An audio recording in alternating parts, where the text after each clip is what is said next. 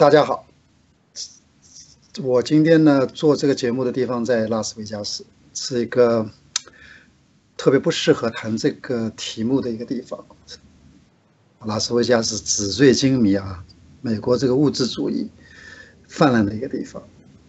我这这次来看一场展览，呃，也是这个题目的准备呢是比较早的一些一点的时间。那昨天晚上呢，我呢在跟这个其他几位朋友聊天聊得很晚啊，聊的过程当中呢，别人就开我的玩笑说你这个是有一些法国人的情调，但这个呢是有点贬义词，意思就是不靠谱。实际上呢，就是谈今天谈这个情人这件事情还真不太靠谱。第一呢，你不由自主可能就把你的一些私生活的有些细节有可能不小心就说出来，就算没说出来呢。也可能把你的一个关于情人的价值观也说出来，啊，在电视面前讲这种题目，啊比较危险。那如果我们的受众呢，呃，没有足够的心理准备，或者没有好好考虑过这个问题呢，可能这个问题有点挑战性。啊，刚才导播说这个问题是不是应该私聊？我觉得没关系吧，就把私聊的东西就是公聊一下下啊，看看这个大家会怎么反应。那聊这个题目，当然就是有一个我觉得特别好的一个合适的一个聊的对象，因为这个东西不能男生和男生聊啊，呃，而且这个东西呢，也不是说讨论一个关于情人的一个标准定义，上是谈的比较多的是个人感受，这种个人感受呢，还真的跟你的阅读、跟你的呃旅行啊，跟你自己的一些可能个人的经验很有关系。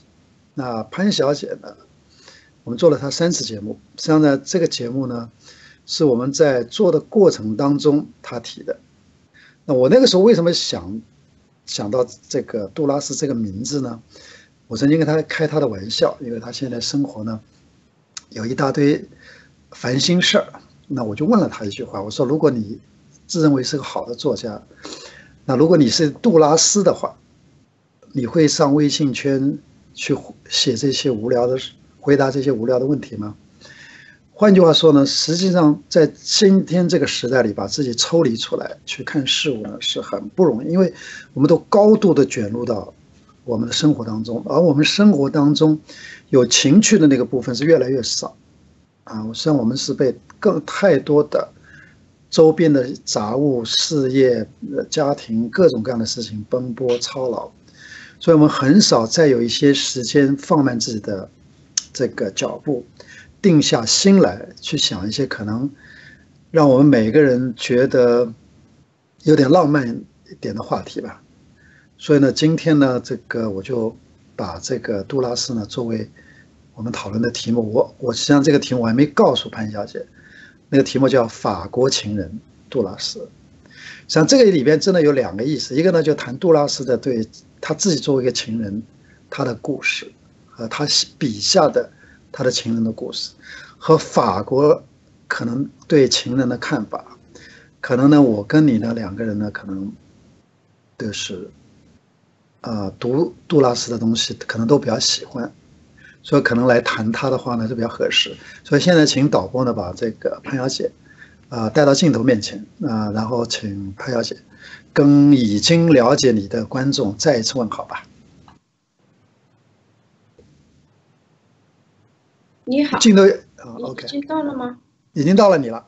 好，我这个，你好，那个陈军，呃，你好，观众朋友们，今天我们要聊一下情人这个话题哈。这个首先我们谈起谈到情人，肯定想到杜拉斯嘛，杜拉斯的这个小说《情人》，当时我看他小说的时候，好像还在大学里面，可能十八九岁吧，看了他的《情人》和《无法闭眼》。呃，特别喜欢，特别喜欢。呃，情人也后来拍成了那个电影，是他的男主角是个中国中国的一个演员，我忘了叫什么来着，你记得？很有名啊，梁家辉。哦，梁家辉，听说还蛮性感的。啊，不是，真的是蛮性感的。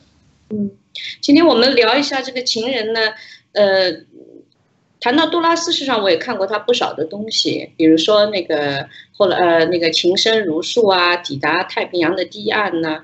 呃，特别多就不不在这里列举了，因为主要我们也不是一个文学的一个讨论会。呃，我我想谈的就是说，呃，这这些年吧，就尤其啊，从欧洲回到中国以后，就是发现“情人”这个词好像渐渐的疏远了，几乎没有了。就有时候吧，一些闺蜜咱们聚会的时候，我会忍不住问他们：“哎，你最近有没有恋爱啊？有没有情人啊？什么？”他说：“你说什么呢？”你太淘汰了，你 out 了，你都不知道现在呢什么情人，我们现在就是就是都是约炮，就是这种了，知道吗？它就变成一个，呃，就好像很很生理的这样一种。当然，这是一个一个时代的这样一种开放的，呃呃呃一种一种环境哈。那我想跟陈军探讨的就是说，你觉得情人在你的概念里面，它是它是一个什么样的位置？我觉得。情人这个东西啊，说起来还蛮复杂的。首先，情人当中情这个事情是在前面，在人前面嘛，对吧？那就表示就是说，你一个人有他一个最基本上的一个感情状态，也就是说，他去找他的异性的时候，啊，他的可能性有很多种，比如有早期的冲年青春期的冲动的时候，对女性的渴望啊、渴慕啊、想象。那那个时候的情是欲比较多一些啊，或者是荷尔蒙比较多一点。那还有一种呢，可能是传宗接代，那他可能就是完成一个，就是说一个社会角色，对吧？男生也好，女生也好。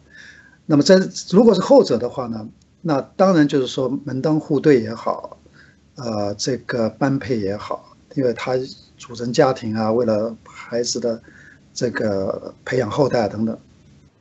那今天这个时代呢，它相对来说就是可能我们沟通的方式变得更加简单明了。那可能呢，这个情这个部分呢，可能就让位给物理上的一种需要。我倒并不是说这件事情一定不好，而只是说本来这件事情可以有另外一些角度。另外这些角度呢，呃，可能是更浪漫的一个角度。那呃，我认为可能大部分的人。可能不一定有这个雅致，不一定有这个情绪，不一定有这样一种，呃，这个对于感情的期许。所以情人这个东西呢，我觉得真的是可能比较适合法国人啊，因为法国人呢，可能就会把两性关系当中，就是把这个所谓的纯粹物理性的需要，法国人可能觉得不能忍受，因为太，太这个直白的吧。那如果是纯粹的这个家庭责任义务的话呢，那可能又刻板、千篇一律。那就是说，你男女之间别的东西都有，唯独就没有情这个字。啊，有情这个字呢，还真的需要有一些熏陶，有一些内涵吧，并不是所有人都能都能成为情人的，因为因为情人里边有很多别的内容的，对吧？你自己。是不是适合做情人，可能都是个问题，对吧？那做情人，可能你可能要有比较浪漫，你可能有比较想象力啊，啊，你可能也比较体贴，你可能观察力也很强啊，而且你基本上就不那么世俗。换句话说，就是说你的目的性没那么强。那你觉得，就是说情人的目的性没有那么强的意思，就是说我打一个比方，在中国这个这个现在这个环境里面，一般我我我当时“小三”这个词是我西班牙回去以后才知道的。那你觉得，比如说用“小三”这样一个词来和情人，这个你你你会你会把他们是列在一个层面吗？是一个你你头脑中的你想想呃想想要的这样的女女孩的定义，还是你你觉得他们是有区别的？比如说谈到情人和小三，是一个概念吗？你觉得？当然不是一个概念了，因为当然就在中国人的概念，反正就是婚外呃不两种情况嘛。嗯。一种就是说不准还尚尚未结婚。状态下的那种关系，你就叫叫情人，对吧？至于情人的内容，那真的不同的国家赋予的内容不太一样，对吧？还有一种就是说所谓的婚外恋，或者说你已经有个固定的关系，另外有一个，嗯，就是说不管叫红颜知己还是叫什么，反正就是，所以呢，我们就按照数字来看，就你本来两个人，现在多一个人，第三个，对吧？那这个是比较物化的，这是一个比较物化的概念。那这种比较物化的概念呢，可能跟中东方文化基本上是比较容易把女性物化的，就是一个附属的附属的一个工具。那这种意义上来讲呢，它本身就是把情爱这件事情的情这个部分，基本上已经给抹杀掉了。所以我当然认为，所以我我大概这一辈子到目前为止没有写过“小三”这两个字。嗯，大概我没说过这两个字，因为这对我来说就不在我就会讨论的议题里头。这太对不起，今天把你这个我我我不不你哎，我们不能反客为主的，对吧？我我的多说一说。我的概念，因为你谈到法国情人，我也我也 honest，因为我我我还确实没有过法国的情人。所以我也不知道法国情人他是什么概念。我在欧洲生活过，啊，因为接触好多西班牙人，我当然确实就是我们谈到的这个情人的概念和和东方的这个是有区别的，是有区别的。就像你说的，他物化了以后呢，就作为女性也是一样。就比如说拿我自己为例，我也没有没有过这样的经历，被物化掉以后，你是一个什么状态？就比如说像我的话。我还是崇尚情字当头，要有要有情感。首先你要有起码的，你说的如果是欲的话，你要有这种欲望。你对这个人，当你看到他的时候，你你要产生这种激情，而不是说这是像一个一一个生意一样，就是啊，我物化掉了，你是小三了或者什么样，是一种东方的这样一种。这个我在我的概念里，它不属于情人的概念。嗯，那你的情人的定义是什么呢？我的情人的定义就是。首先，我是要爱他的，就是当我见到他的时候，这双眼睛他是能够让我直接就痴迷的。我看到他的时候，我就就受不了了，我就我就需要他。呃，我首先有这样一个前提，我我我才可能去爱他，这样我就根本不在乎他的他的关系，比如说他是已婚的或者是未婚的，可能年轻的时候会会会在乎，后来慢慢的。你可能也不太不太在乎这种关系，也不在乎你所处于的在他生活当中的一个位置，根本不在乎了。嗯，我我我觉得这个，当然杜拉斯是个特特别的例子啊，因为她作为一个作家，作为女性来说，她笔下描述的是一个世界。呃，我我因为也我我也是很早的时候读那个她的情深如诉，那我这是可能是我觉得写的最好的。短篇小说之一啊，她，因为我我我我觉得她的小说的一个很很明显的一个风格，就是说，他铺垫情绪的时候是非常不经意的，他没有传统的那种浪漫主义文学，就是一个全知型的，就是所有的人的刻画都是典型人物，对吧？然后爱情呢，都是基本上好像因为外界的不可控制的压力，所以让那个爱情没有办法，呃，两个情人不能走到一起。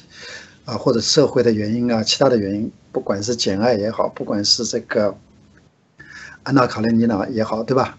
那他写的这个感情，就第一就没有太深刻的所谓思想性的内容，就是讲情绪啊，这种情绪呢是永远在那个地方，而且这种情绪呢，有的时候在某一个时刻就突然就袭击了你，然后你就变陷入一种深刻的绝望的，而且呢，他真的是写绝望的一个。我认为一个最好的一个大师，所以我那天跟你讲，我说他，呃，可以在厨房里八个小时看一个苍蝇从墙壁上怎么慢慢慢掉到地上，慢慢慢慢死掉，而且呢，他经常去写呃不可能实现的爱情，嗯，比如说什么妹妹妹爱上哥哥，然后哥哥走了，然后他就一直在那里等待，实际上更多的实际上更多是自己的一个投射，对吧？那这种我我觉得就是说。情人，情人这件事情，呃，也可以俗，也可以雅，也可以雅俗都有。那真的就是看你怎么定义它。也就是说，那两个人实际上是当他们在一个关系里的时候，像所有的社会世界可以跟他一点关系，一点关系也没有，一点关系也没有。就是说，你不能用任何标准去衡量你是不是婚外恋呐，你是不是骗了你的太太啊？因为，因为，因为人本来。生来在这个意义上来说，他的感情啊，呃，都是比较自由的。当然，有很多人有很多自我设限、自我约束，对吧？那我觉得法国人在这一点来说，我为什么说是法国人的爱情呢？嗯，让法国人有的时候在追求爱情上面，一个呢不像东方人那样，就是说欲仙欲，就是说要就是说这个飞蛾扑火，他也没有那样，嗯就那么煽情啊。呃你像中国的歌唱这个情歌里面，那个感情是非常幼稚的，就是说我我得不到我想你啊，怎么怎么地，对吧？他没有，他真的没有内容。一一旦进入关系的时候呢，他内容是非常表浅的，是非常表面的那个关系。只是说我想得到你这个人，至于得到了以后，那个内容是什么呢？就是他们弹琴那个弹的内容是什么，那就很少，很少，对吧？那么还有一个呢，我就觉得就是说，对不起，我要把这个电话关掉。呃，另外呢，就是说，我觉得法国人呢，就是还是在，可能他们生性浪漫啊，拉丁语系的人生性浪漫，所以他们基本上我们知道他们的元素里边可能有酗酒啊，什么抽烟呐、对吧？嗯谈文学呀、去去追求一些极致的体验呐、然后会把自己放在一个相对来说呢，一个比较危险的处境。所谓危险的处境，就是说，呃，考验两个人的这个人性。嗯就好像这个玛格丽杜拉斯跟这个杨安德烈的那个那个爱情，那那种那种爱情里面，真的是在人性的比较阴暗的面当中，他们走得很远。嗯那他他他不是一个好像现在说包包个二奶，对吧？这个里边就是说，呃，我就花钱养活你，哎，我花个钱养活你，对不对？反正你就是不需要懂我在做什么。实际上，他们他们这个之间里里边还是有非常多对对方的这种理解嗯和怨恨，所以是个非常复杂的关系。嗯，因为好的情人关系都是很复杂的。我知道你谈到法国的话，不好意思插我插上来，就是因为谈到法国的时候，我想起来了，我想起来法国对于爱情的定义是什么？法语里面对于爱情的定义是意外，这是一次意外。呃，爱情的定义是这次意外一次意外，这是法语对爱情的定义。然后法语里面对于这个性性的定义是一次死亡，就是你经历了一次死亡，呃，小小的死亡。他他他他是这样的，他他很浪漫，很随性的。所以谈到那个杜拉斯的这个情人，就是安德烈杨，他的那个书我还看过，他写杜拉斯的那个传记嘛，呃，他谈到，他是真真实实的，就是尽管我们认为啊、你所说的就是他们之间的这种情人关系比较复杂，但真真实实的安德烈杨在上面谈到的有关于杜拉斯，他们的年龄差距三十九岁吧，好像是。他们依然还是 basic 啊，他们有他们有性生活的，他们不是就是大家认为的这是一个精神之恋，然后杜拉斯把他养在那儿，从来都不是。确实是有，确确实实有，他说的，他写了都，嗯而且呢，我觉 我觉得在呃法国的情人当中，忠贞不是一个标准。情人就是你你说的这个忠贞是现在你是是情人之间的忠贞，还是因为你有了情人而你对于你太太，就你对你婚姻的这个忠贞的背叛，就你谈的是哪个忠贞？现在？呃，两个两个意义上都是，因为杜拉斯自己有个很有很有意思的名言，嗯但原话我不能记得非常精确每一个字怎么说的，但他大概的意思就是说，在爱情当中背叛是一个最高的境界。哎，是的，是的，是他的话，啊，对，但是他大概的意思呢，就是说，呃，第一就是说人的天性嗯啊，就有这个背叛的这个基因在那里头。也就是说，呃，如果能够让两个人就是所谓永远在一起的，嗯一定有很多我们讲不可告人的原因。我指的不可告人，不是说丑恶的部分，也就是说，一定有非常多不浪漫的因素。因为浪漫这个意义上来说，就是不所谓就是说不会固定在某个地方嘛。对吧嗯，所以“浪”这个字和“慢”这个字，你就想嘛，对对对啊。如果一旦是，比如是进入一个固定的关系或者个婚姻关系的话，他就不是情人了。所以“情人”这个字，你要说情人，它就这个概念本身就蕴含着，它可能是一个短暂的，它可能就是个短暂的对，吧？但是这种短暂，当然短暂这个年时间段可以是一年，也可以像杜拉斯十六年。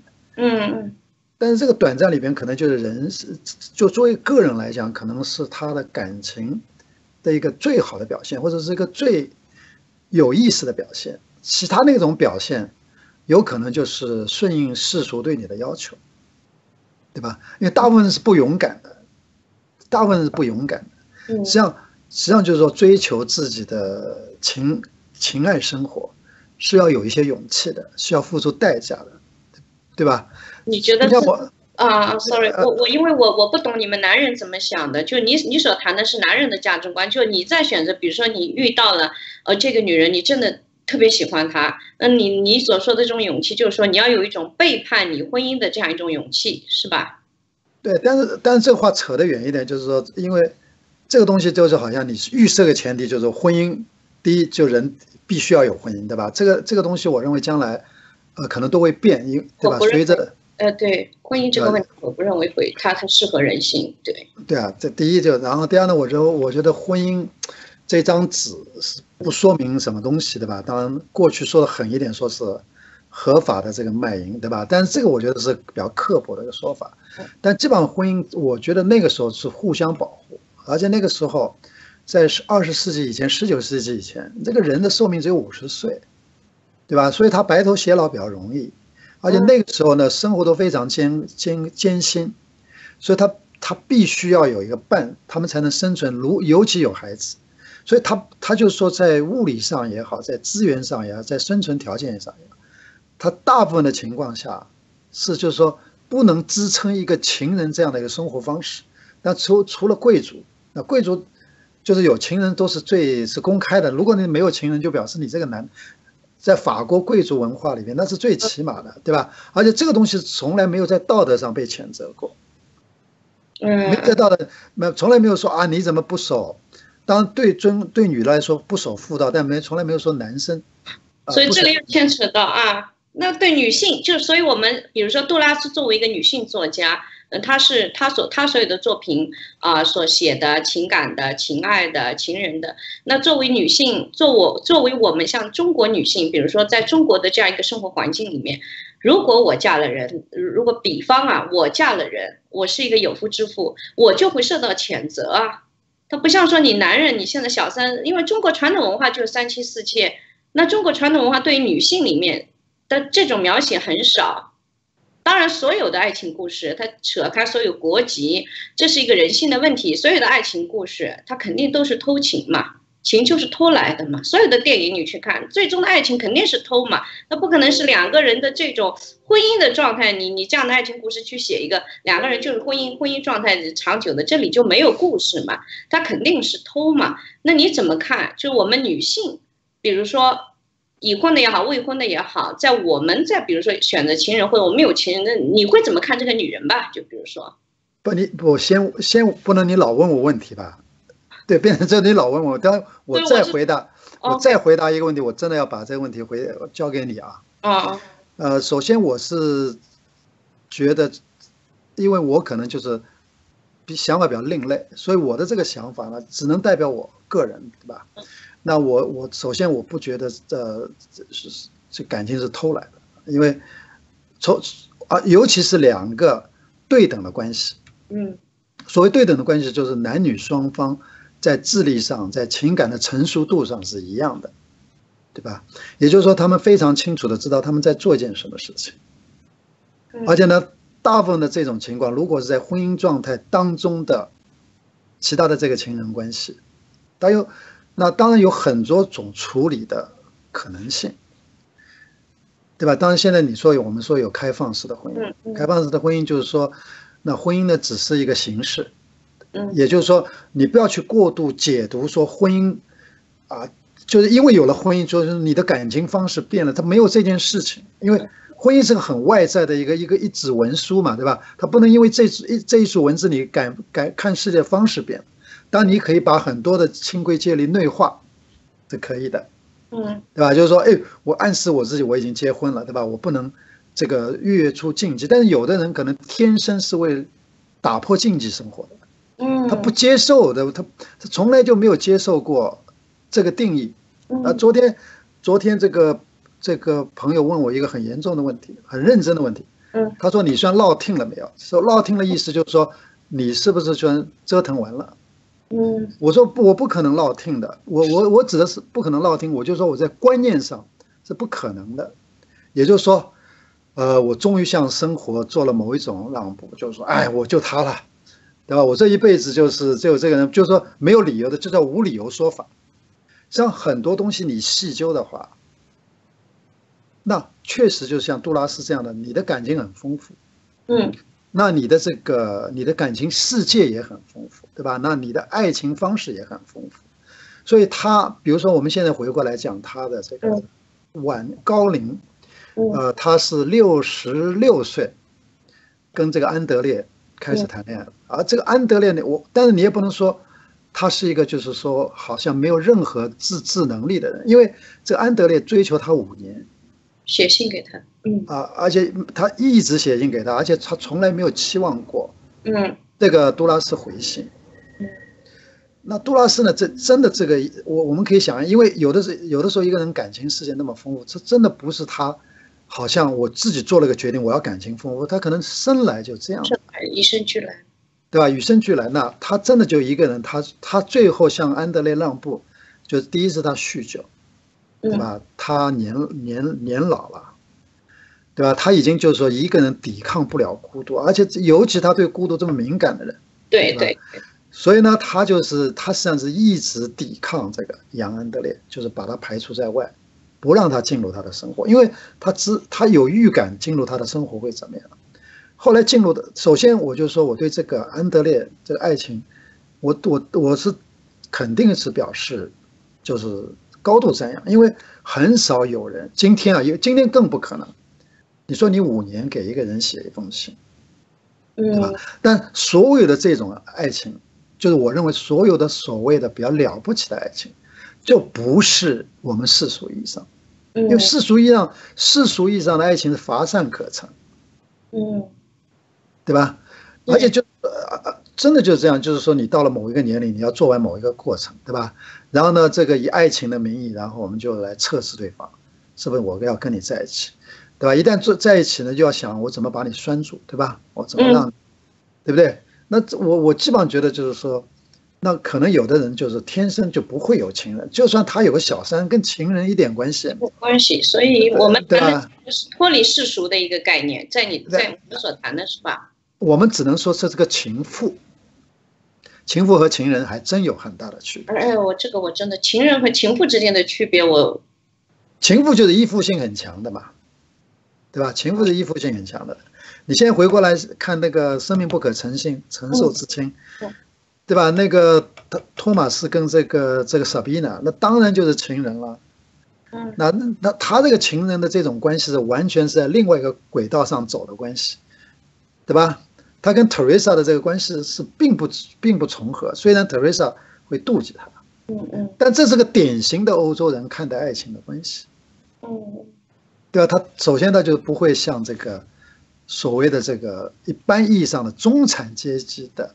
家庭观念屈服，否则就不是就不是所谓的欧洲式的或者尤其法国式的作家了，更不用说。嗯，对吧？你对谈到那个法国式的，因为我我没有这样的经历，我我只能以我自身的经历，西班牙式的，比如说情人在西班牙语里面，它直指 physical 的，它没有这个了，因为 amante 嘛。我们只是 physical 的，我们不是中文里面这个情人的意思。如果你说是情人，那就只证明你们两个除了性关系什么也没有，跟这个爱没有关系的。所以在西语里面，如果两人有这种情感性的，它是以以 amor 来说，就是说我你你是我的爱，你是我的爱，而不是情人。情人就是个 physical 的。但我们从中中。就是从小我我的概念里面的情人，那就是要有爱情的，要浪漫的，要诗意的，是这样一个概念，而不是现在所说的。我不知道你刚才谈的情妇和情人之间的这种关系，而且我自己有时候也在想，我这样一个女人，应该是适合在哪一个角色里面？首先，我肯定不适合做妻子，我我我我自己也觉得哈。那作为情妇和情人之间，我我这里我我这个意思，我我不是太明白你们男人。概念里面就是，你们会把女人分类吗？就这个女人她适合做我的情人，这个女人适合做我的妻子，这个女人适合做我的情妇。你们会有这样一个男在男性思维里面会有这样一个选择是吧？我觉得，因为说这样的东西就是真的很难，就是说用一个广义的说法说男人怎么样，你你只能说哪一个男人怎么样，对吧？因为因为呃，可能是一个中国县城里边的一个。打工的男生，对吧？他性有一个性饥渴的问题，那对他来说，他他不考虑就是说这个人到底是是哪一个定义，因为他没时间，他也他也没有这个心思想这个问题。对，但是一个大学生可能受文学影响很深，他可能会用他想象当中的模式去套他某一个正在约会的对象。嗯，那所以有所以有的时候我们常说你是爱爱情呢，还是这个爱那个具体的人？因为大部分人爱的自己的幻象嘛。很多的很多的时候，两性两性关系之所以彼此吸引，就是因为对对方不都不够了解，或者对自己也不够了解，对吧？对。但回但是回到你讲的那个阿曼的这个，嗯，这个西班牙的这个电影。那就变成约炮了嘛？对，那个阿曼的就是约炮呀。情人在西班牙语里面就是只是 physical 的性关系，没有别的，就是只是过来呃做这个事情完了就走人的，就这叫 amante，，就是这叫情人。但跟离我的那个概念的情人是很很很遥远的，所以我有时候一想用西语里面一讲 amante，，他们马上对你的概念就他们对你这个它是两个意思。嗯，不愿意说这个 amante 就情人这个意思，但是在中文里面啊，我我我我谈到的情人，我我我是希望是有诗意、有情感的那种，就像你说的，我还是想给他写个信啊，写首诗啊，那我爱他，我我我也愿意为他等待，然后你就晕头晕脑的、昏头昏脑的，在这个在这个情绪里面，你就在家傻傻的可能坐一天，你就想着他，你就是想着他，这我我我就会把他纳入是我的情人。那如果是只是单纯的关系啊，我不不具有我那种激情和思念他的那种，那我就是这个就是我所说的什么炮友什么的，可能醒来你也忘了这什么人什么，就跟你人生没关系。他这里我我我我以我自自己的这个经历来讲，我对于情人是。是很留恋、很痴迷的那种，而且我写作的状态就是，我必须要有这样一段恋情，我有陷入这样一个呃痴迷的状态的时候，我我我我就它能激发到我写一些东西，诗歌，尤其是诗歌。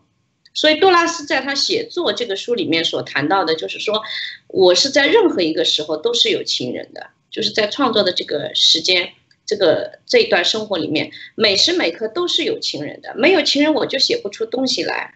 他他就是这样说的，而且他呢也是，就是谈到的那种孤独啊，就像你刚才说的，他确实是抵挡不住那种孤独，或许才跟安德烈杨在一起。但杜拉斯，他对于孤独，他写作就是应该要以以人隔绝的。他认为，他认为写作就是这样一种孤独的职业，而且就是即使你写书，书也是孤独的，就你打开的书也是黑夜。我记得这这是杜拉斯讲的。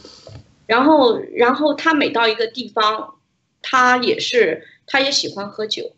他说，孤独意味着死亡，也意味着酒精，意味着威士忌嘛。所以他每次出门旅行的时候，他把一大瓶威士忌就就先放进旅行箱。但是他喝的时候，他他不想被男人看见。他他说了，他事实上，杜拉斯，你想这么开放，写了那么多情欲的书，但是他事实上在男女关系上，他还是。他还是觉得，他说，除非对男人要非常非常的好，就是要特别特别的好，要超乎一切的好，要不然你就是跟他永远是战争。所以杜拉斯说，当我跟男人在一起的时候，那你就你就听他，因为男人他能帮你找到你要去的地方，就女人一般啊都会找不到路的。他说，这是他唯一跟任何一个情人在一起的时候，他们都是他的地图。人每一次旅行，杜拉说，我都要找一个情人，为什么？因为他能帮我找到路。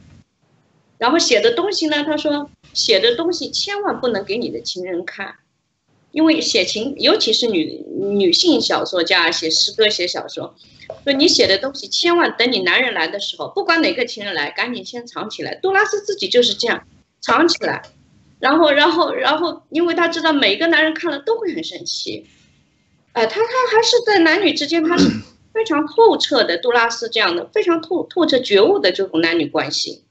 他谈到男人的时候，他说：“你一定要向你的情人隐瞒你对丈夫的情感。”所以我想，可能男人还是介意的。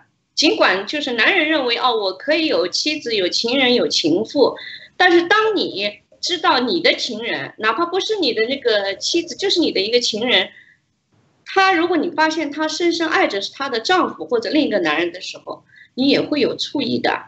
所以杜拉斯说一定要隐瞒这个真相的。他说我事实上一直很爱我的丈夫，但我永远不告诉我的情人我是深深爱着他的。就就是这样，这倒也不是说爱情是欺骗。哎，你怎么看“爱情欺骗”这两个词啊？爱情是骗来的。又要反问我啊？但呢，但是往往我我们我现在一你一我一边听你讲的时候，我一边在想，我们为什么讨论，比如杜拉斯啊，讨论法国情人，实际上往往因为这样一些独特的个人的一些经历，嗯，他们对事物的看法呢，就在我们的感情的光谱上呢。多了几个路标嘛，也就是说，哦，曾经有人是这么想问题的，嗯，而不是说我们在家庭周围或者朋友周围听到的一种千篇一律的，啊，爱情观呐、道德观呐，对这个情人的看法，因为往往有些这样的人，就是说他重新定义，比如说什么是爱情，什么是背叛，嗯，但是你回过来讲呢，呃，你当另外的一对这个法国的一对情人也是我。比较欣赏的，并不是说他们所有的政治观点，就是萨特和德德布瓦，对吧？那他们两个人，他们两个人最自豪的地方是不以占有对方，呃为自豪的。相反，就是说我越爱一个人呢，我越给他最大的自由空间。也就是说，你跟他在一起是你最安全的时候，而不是最不安全的。因为爱情常常的另外一面就是惩罚，对吧？所谓惩罚，就是你一旦不忠，那惩罚这把刀就举起来了。所以，爱情的另外另外的爱情的另外一一部分就是不爱嘛，对吧？也就是说，他可以不爱，也就是说，他是有条件的，就你爱你爱我，我爱回去嘛。但如果如果有一天，但如果有一天他也不是不爱你，但他也爱另外一个人，是不允许？那当然允许。至少在我的观点里来说，那没问题啊。如果只要那是一个。真实的感情，因为首先谁也不可能去驾驭另外一个人的爱情，所以需要欺骗嘛。欺骗的就是说他怕你受伤害，对吧？所以就是不太强，不够强大。如如果你要够强大的话，你可能就会说，因为两个人来到这个世界，我们我讲这两个人走到一起，你不能假定今天他爱你，他永远爱你的，这这个是你自我欺骗的。对吧？那而且你你如果所谓自我不够强大的话，你你就太需要依赖那个人的爱情，你才能够成为一个比较独完整的一个个人。那我觉得这个东西呢，呃，不算一个我认为的一个完整的。呃，因为你如果爱一个人，你可能就爱所谓讲法啊，从观点来说，你爱这个人的全部。但如果他的全部其中不忠是他的一个特点。对吧？你会不会？那我认为在玛格丽特·杜拉斯和杨安德烈之间，就有这么一个拉扯的关系，因为安德烈是一个同性恋嘛，嗯，对吧？其实也就是说，他经常出去几天不回来，在别的地方找男人。当当然，从中国人的角度来说啊，这个糜烂的生活，对吧？这是一个简直是一个就是堕落的生活，不敢找女人。呃，但但是我觉得讲这个话呢，就特别没有意思，因为。因为首先呢，就大部分的人，不要说呃去尝试的勇气，对吧？可能连理解的意愿都没有，嗯，所以他们自己的生活，可能就是现在这个样子。那回过来，我想，马德玛格丽杜罗杜拉是真的对爱情，别人一直认为他一生就追求绝对的爱，哪怕这个绝对的是。就是瞬间的啊，瞬间的，他并不是说一旦你追求了那个绝对的，你这个爱就好像就是变成就是海枯石烂，那根本不是这样。所以你我不知道，你看《情深如诉》里边，嗯，那个故事细节挺简单的，对吧？就是他们住在一个楼下，发生一个发生了一个枪，就是就一个枪案枪击案，嗯，枪击案呢，后来他们随着这个故事的聊，这个也展开呢，他就知道呢，这个女的。这个一对情人，这个女的要那个男的开枪把他打死，因为他认为他们两个人的爱情已经达到了最高点了，再往下的爱情要走下坡路，他不能忍受那个爱情从此走下坡路，他宁愿在这个时候让他的爱人把他打死，也就让这段爱情就永远停在这个地方，对吧？那这个真的是一个极端的想象，这个是一个极端的想象，也就是说，男的和女的在爱情这个意义上。情人这个意义上，谁可以走得这么决绝的？我纯粹从一个审美的角度来讲，我并不说鼓励大家在生活里去追求，而是而是说你在我们所有的阅阅读和人生经验当中，我们看到有人居然是这么想问题的。那如果他这么想问题算爱情的话，那你其他相比来说你就逊色太多了，嗯，对吧？因为你里边的这个爱情的内容，因为所以我讲情人这个东西，你就讲内容吧。我的话，比如说，sorry，我的话，那我觉得我爱一个人，我就是要死的。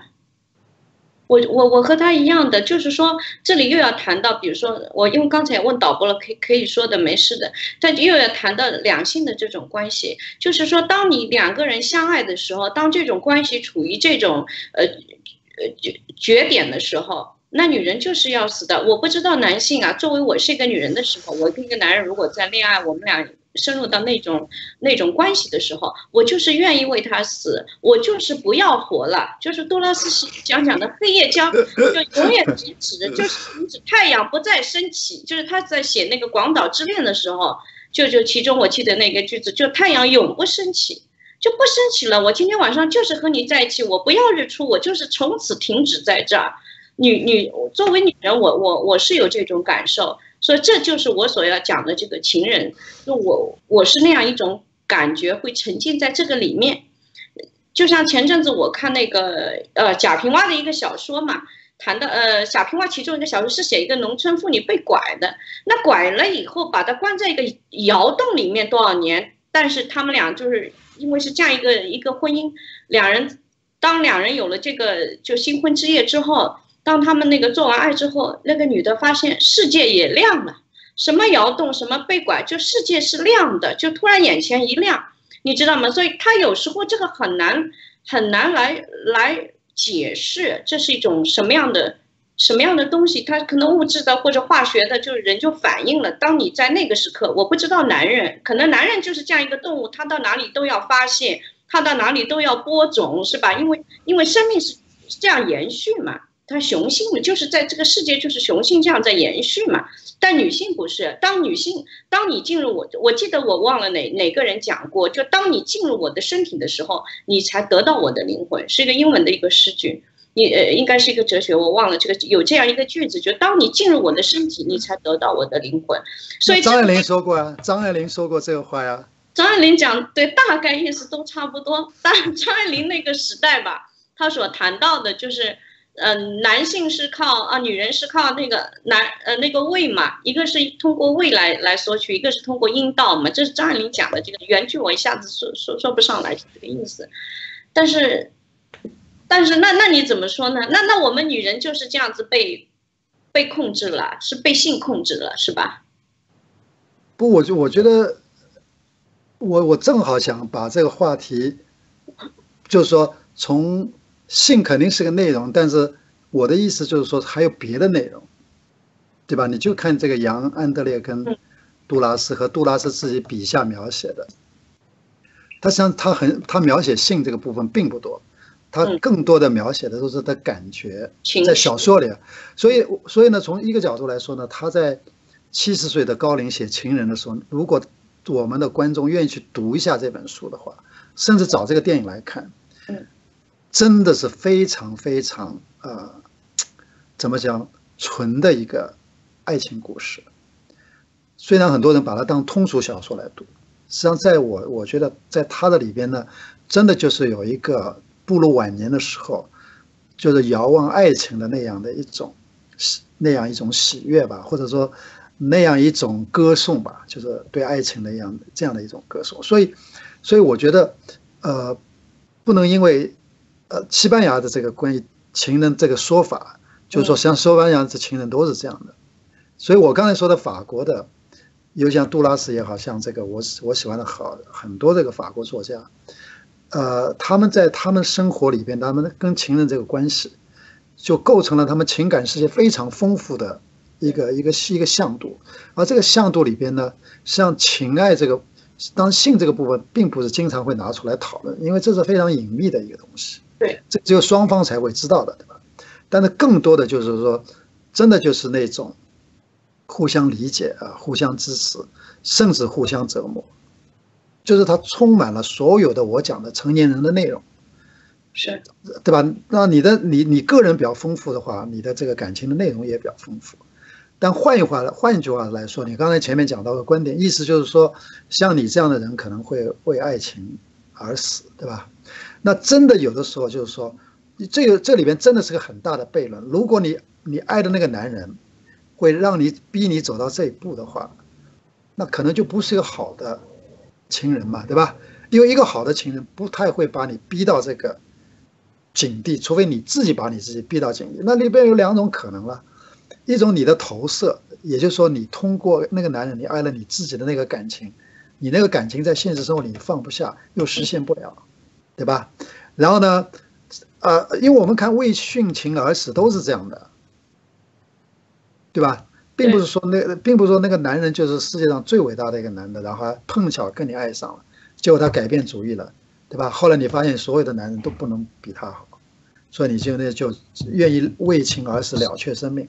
大部分的时候，我觉得就是说，他可能不太了解他自己，也不了解那个对象，嗯，他就完全在他的自己沉浸的那个世界里头。所以我，所以我一开始我讲的这个，以在我的看法来来讲，情人真是一个成熟的男性和女性，对他自己向往的那个生活，他的那种追求和他自己追求的方式。否则的话，我就讲，要么就是情妇嘛，对吧？要么小三嘛，对吧？要么就是什么叫做中国来讲叫 concubine，叫什么？就是，呃，哎呦，我有的时候中文忘了叫什么。性伙伴、炮炮友。呃，炮友，炮友是现代的个呃说法，呃，对我真的有的时候中文忘，大大大概就是这个意思，说就是互相的关系，就一个依附于另外一个的关系，他们的关系是不平等。嗯，而且他他们基本上在感情上的交流，就算有，它的内容也是非常狭隘，嗯，对吧？那么你你因为因为，呃，如果两个人的感情关系由他们自己的感情方式和他们自己的人生的丰富性来决定的，如果两个人，啊，这个越成熟，对吧？越就是说有这个。丰富的人生经历，那么他们的感情的内容，这个情人的内容，就越不同凡响了。嗯嗯，对吧？它这真的是一个不一样的这个阶梯的东西。那我认为大部分的情况下讲的情人，可能就是说对他另外一个生活的点缀。嗯嗯，他在一个安全，就是自己在一个相对安全的地方，对吧？他需要，就像你讲，他需要偷情，他需要偷情。那这种。他这个偷情真的就来弥补他的另外一面，对吧？他的就是比如说呃，个人这个婚姻关系也好，这包括不一定婚姻关系，就是两性关系，呃，他已经没有激情了。嗯，他他剩下来只是履行义履行业啊那个义务。义务。那我认为呢，这也是将来我会讲另外观点，我就说今天的我们的所谓的。家庭关系，呃，对爱情关系的定义，包括政治制度，包括其他等等，我认为都是上一个时代的产物。我觉得未来人的这个感情关系一定不会像现在这样那么缺乏内容。嗯嗯，所以情人呢，从我的概念里面就。从小就从青春期就是对情人是有一种渴望的，就也是因为小时候那时候也喜欢看情感的小说嘛，可能小说看多了。那个时候我比较喜欢的几个女作家，杜拉斯也好，乔治桑啊，包括波伏娃。我接触波伏娃的那个书《第二性》，那个时候好像十七岁吧，就读她那个《第二性》。那个时候好像我觉得那个书对我影响也挺大。呃，乔治桑的那个传记，就他写的那个。呃，后来乔治桑这样一个风流的女作家，好像也哎也法国呀。我们谈到法国情人，就就真的可以谈到乔治桑和肖邦，好多的这个乔治桑，那法国呀，就是他那种浪漫，好像就像你说法国以身，就是就是法国这个文化里面，他这种浪漫的和那种细微的那些情感的东西，他会随时的流露，就随时会流露出来在生活当中。呃，它不像是我们所讲的比较干巴巴的、枯燥的这种情人关系，而我呢，对情人的那种渴望，就是一种很完美的关系，因为我们从小对婚姻是有一种抗拒的，就觉得婚姻就很严肃的，那两个人就一辈子了，就就因为从小观念就是这样。你然后嫁人的时候，你就肯定会考虑很多，说哦，我我我已经结婚了，我不能再是去这样子啊，像年轻的时候未婚的时候那种生活状态，你肯定是要把这个这个生活停止掉。但是情人，大部分我我我所谈的是情人的概念呢，它肯定就是说有些。我们应该来说，我觉得情人的概念还是建立在有你你有婚姻或者你有女朋友的这个之外的这种这种情感关系，它是完美的。我始终觉得情人在我的概念里，它是一种完美的状态。你爱他，他爱你，然后两个人又不能够在一起，就像说这段情感又不能实现的时候，你才觉得留恋他，你才觉得留恋。就人的这种天性里面。他就他就有这种背叛和不忠的这样一种天性，因为越是这样的话，越冒险，你才会觉得这是一种激情。事实上，这是一种有一种冒险的这种人的本质在里面，背叛不忠，这都是爱情的本质。这个不是说你道德上的背叛哦，我现在有情人，我就是个坏女人。我们从小的观念不对不对，背叛不忠，这是爱情的本质，爱情就是背叛和不忠的。终于了，你这又不是变成另外一种关系了吗？所以这很矛盾啊，这始终很难解决的这样一个问题啊，这就是我想要探讨啊，这个情人的这个关系啊。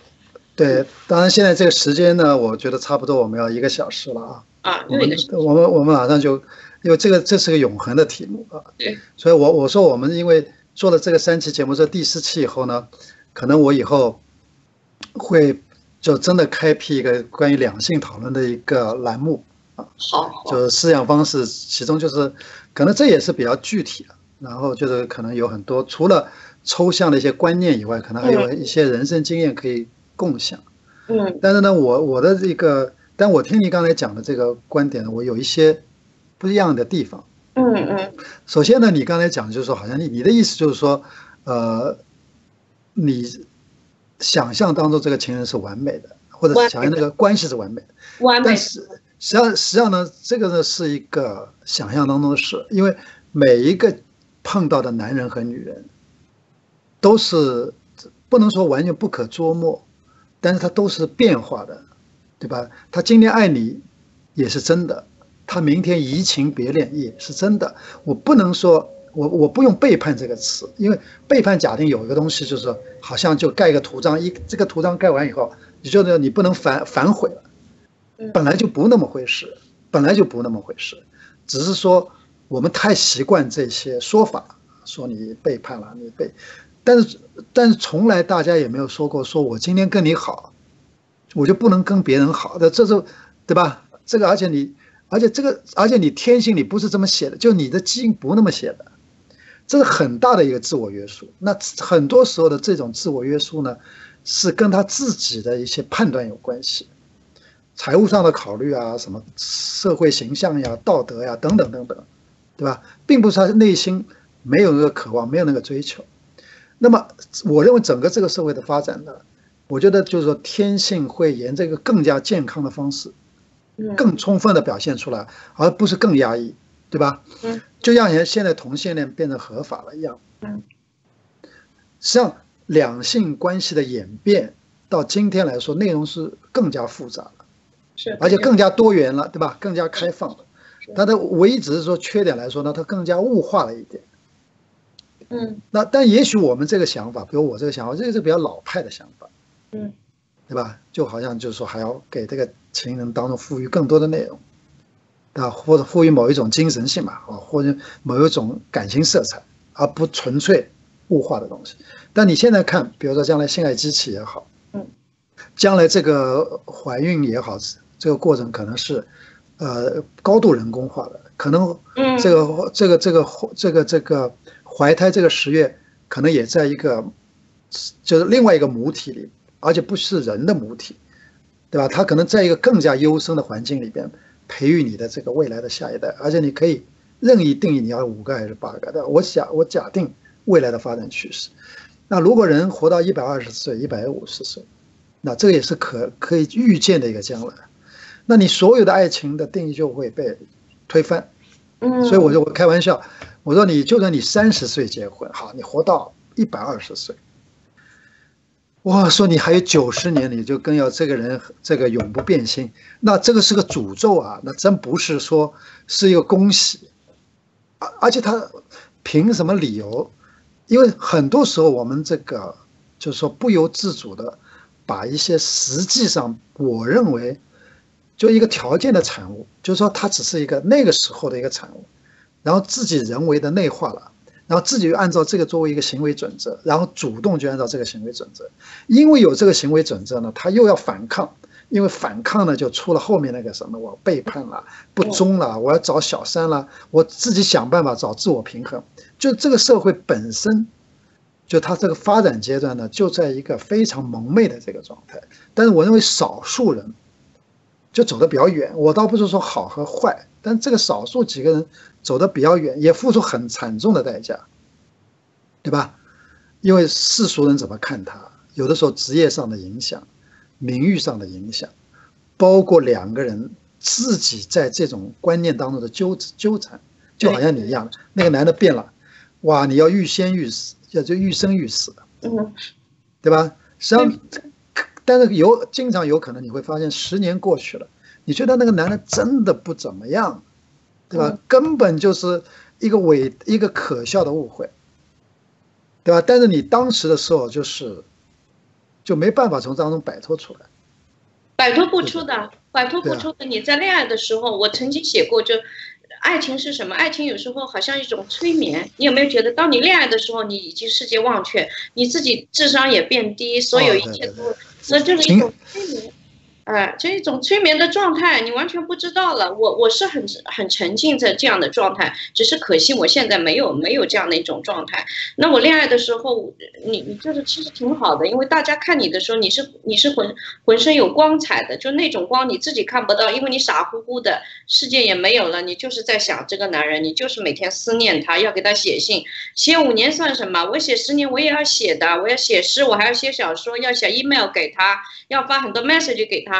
但是男人呢，就就可能吧，因为你这一些举动跑掉了，笑死了。你现在谁给谁写五年的信？你说你你受得了吗？像一个女人如果给你写五年的信，是吧？这些东西随着高科技的这种发展，随着社会这种速度、生活节奏的快速，就是这些浪漫的情绪在远离。所以我有时候觉得吧，就是“情人”这个词，现在在我们生活当中，它究竟是远了还是近了？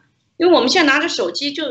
就是就是视频了，就是什么了？他不像以前还有这样的那你那种思念的状态，然后你想一个人，你找不到他，你要给他写信，你要去买机票很远，你要去看他。以前没有飞机，还要坐火车坐三天，是那种感觉。现在慢慢的在远去了，所以生活有时候你说社会是在进步吧，很很 open 吧。现在就现在所欧洲人流行的是 open marriage，就是我跟你是婚姻状态，但是你有你的情人，我有我的情人。当然，那个时候觉得大家很很很好啊，就很现代。但后来我发现这种 marriage 出现了很大的问题。我我身边几个哥们就因为这个伤得太深。他说我不想知道，但是必须得说出来，因为这是 honest。所以后来伤得特别深，就是因为对方告诉了他。所以有时候在这种传统和现代的这种观念里面，我们怎么样去选择一种比较完满的这样的一种状态，使自己表。保持着非常愉悦的对爱情的这种憧憬，因为爱情永远它是一个憧憬。但你说它存在吧，它就是存在；你说它不存在，它可能就是不存在。嗯，是这样一个东西。但是怎么样使你愉悦起来，这是最重要。不要因为你爱情就像女人吧，有时候一爱完了就抑郁了。我好多姐妹，我一看她们抑郁了，你知道吗？